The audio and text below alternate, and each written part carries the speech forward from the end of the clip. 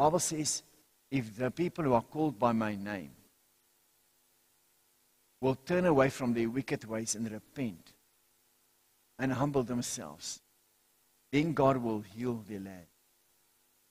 I pray in Jesus' name that people in authority, the fathers in their houses, you can think, you can do things and ask God forgiveness.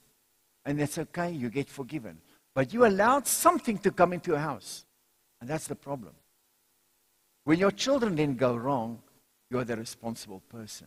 I pray for every father for grace in Jesus' name. That you will not make the same mistake, especially the young fathers, the same mistake that David made when he was a young man. In Jesus' name. God is good, and God will protect you in the mighty name of Jesus. Thank you, Jesus. Amen. I'll take you quickly to scriptures. I'll take you quickly to 2 Chronicles 7, verse 14. All you wonderful people, God is with you, God will protect you. But the most important thing and the answer to the whole world is repentance. That is a gift of God, which no one can live without. To turn away from our wicked ways. Amen. Take it to the scripture, which I just mentioned, and I want to take it a little bit before the scripture. Take it to verse 12. Then the Lord appeared to Solomon by night and said to him, I have heard your prayer and have chosen this place for myself as a house of sacrifice. And that was right there in Jerusalem. When I shut up heaven and there is no rain, or command the locust to devour the land, or send pestilence among my people. This virus, my friends, whether you want to know it or not, not is a pestilence. It's a pestilence that come into the world because of sin. There's no other way you can look at it. We can do our medical researches, which is good. We can fight the virus, which is good. We can find vaccines, etc., etc., which is good. But the ultimate solution is to turn away from sin. Because these things come into the world, the Bible clearly says, because of sin. And we need to turn away from sin so that we might be safe. Or send pestilence among my people. My people who are called by my name will humble themselves and pray and seek my face and turn away and turn away from their wicked ways. Then I will hear from heaven. It's only when we turn away from our wicked ways that God will hear from heaven. I see that people all over the world is praying, which is very good. But it's not good if you pray together with Muslims and you pray together with Buddhists, because you cannot pray together with people that are serving other gods. God is a jealous God, and He will not share you with other gods whatsoever. So I pray unto the Lord God of heaven, the God of Abraham, Isaac, and Jacob, the God of Israel, that chose Jerusalem as his dwelling place, that called David as, as as the ancestor of Jesus, and I believe in Jesus, Jesus Christ, the Son of David. Amen. Called by my name will humble themselves and pray and seek my face. I say again, and seek my face and turn away from their wicked ways. Pray with me, Lord God of heaven. I pray for my country that all the people in this country will turn away from their wicked ways in the name of Jesus. Then I will hear from heaven. God will only hear from heaven when people turn away from their wicked ways. When someone turn away from his wicked ways, at least. And some people admit that what we do is wrong. Amen. Then I will hear from heaven and will forgive their sins and heal their land. Now my eyes will be open and my ears attentive to prayer made in this place. For now I have chosen and sanctified this house, that my name may be there forever, and my eyes and my heart will be there always, permanently. As for you, if you walk before me as your father David walked, and do according to all that I have commanded you, and if you keep my statutes and my judgments, then I will establish the throne of your kingdom as I, as, as I covenanted with David, your father, saying, You shall not fail to have a man uh, that rules in Israel. But if you turn away and forsake my statutes, my ways, and my commandments, which I've set before you, and you go and serve other gods. I tell you, many, many people, even among Christians, serve other gods, my friends. Many Christians serve other gods. Partially. Because they follow the ways of other gods, they quote the sayings of other gods, they read the sayings of other gods. How many Christians did I hear reading the sayings of Muhammad? How many Christians do I see that even quote the sayings of Buddha or the sayings of Krishna? We cannot read these things. Your God is a jealous God. You shall serve no other God. You shall not even mention their names before me. Many Christians serve other gods. And then God says, You shall, you and go and you shall before before you and go and serve other gods. If you do these things and worship them, then I will uproot them from my land, which I've given to them, and this house, which I have sanctified for my name, I will cast out of my sight and will make it a proverb and a byword among all the peoples. And as for this house, which is exalted, everyone who passes by it will be astonished and say, Why has the Lord done this to this land in this house? Then they will answer, Because they forsook the Lord God of their fathers, who brought them out of the land of Egypt, and embraced other gods and worshiped them and served them. Therefore, he has brought all these, all these calamities upon them and love grace, love mercy. But don't you forget that God is a God of justice as well.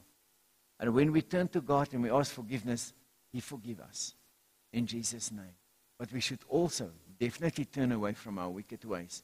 How many Christians show water in a divination way? And they think they're going to get away with that. Like the other, the other nations do. How many people do the funny things and even go to fortune tellers?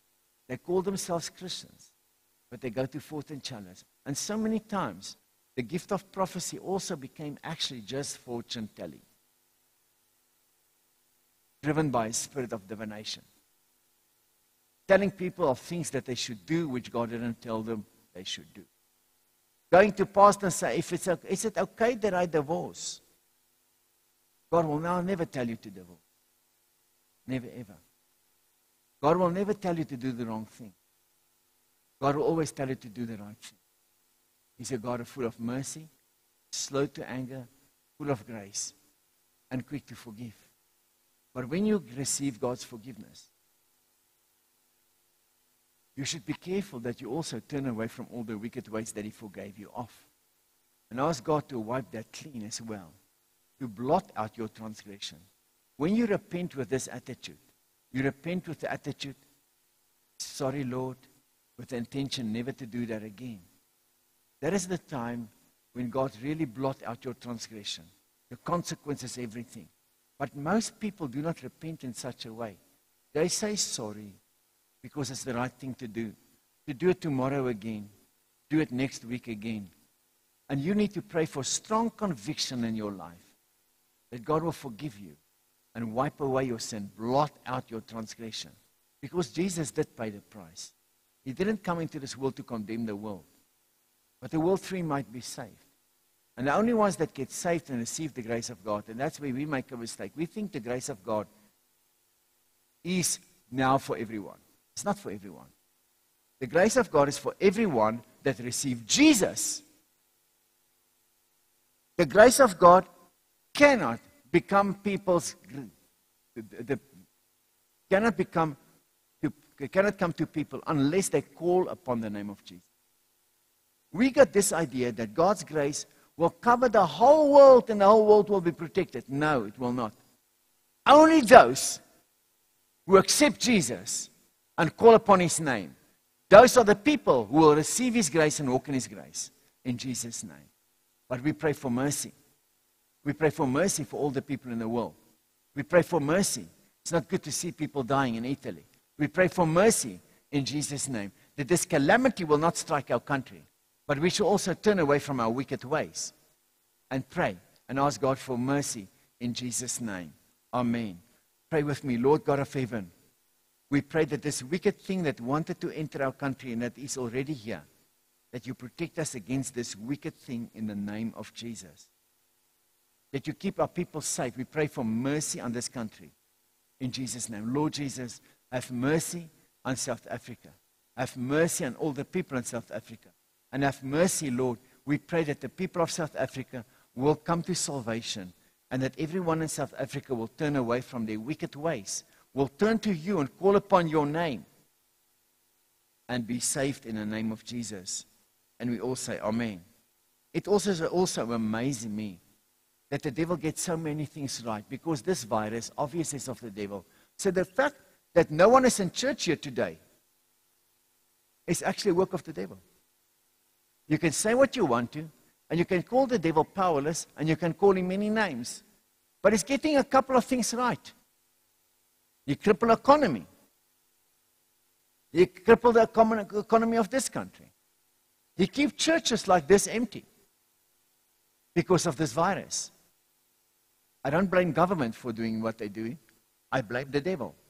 Because this is a work of the devil. Because we as Christians sometimes are arrogant. Ah, the devil can do nothing. Well, if the devil can do nothing, why is this church empty this morning?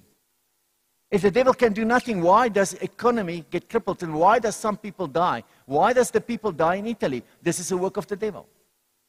So don't tell me the devil can do nothing. Look what he has done. Look how many people died in Italy. Look how many people died in China. Look at the empty churches, even in the USA and here, everywhere around the world. Today, there's many churches like this empty. But don't worry, we made you a promise that we will not stop having church. And you are listening this morning to the word of God. So when the enemy come in, you see empty church when you look here. When the enemy comes in, like a flood, the Lord raises standard. And today, God will minister to many people that look now and heal of you, many of you, and deliver some of you, and bring some of you to your senses and bless your marriages and bring about your breakthrough, even if you're not in church. So, even this thing that the devil does by keeping churches around our country empty like this, that's a work of the devil. But he will not win because we didn't stop preaching the gospel, and you didn't stop listening to the gospel, and you didn't stop praying in Jesus' name. Your God is good. Give him a great hand. Amen. Don't tell me that the devil can do nothing. Look at churches. They're empty around this country, even in other countries. Look at the economy. The devil has get something right. He's getting something right. But now is the time for the church of Jesus to arise and shine forth the glory of the Lord.